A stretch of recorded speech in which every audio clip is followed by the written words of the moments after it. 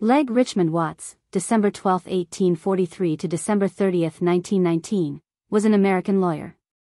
A veteran of the American Civil War, he served as president of the Portsmouth, Virginia City Council, as president of the Virginia State Bar Association from 1914 to 1915, and as a member of the Board of Visitors of the University of Virginia.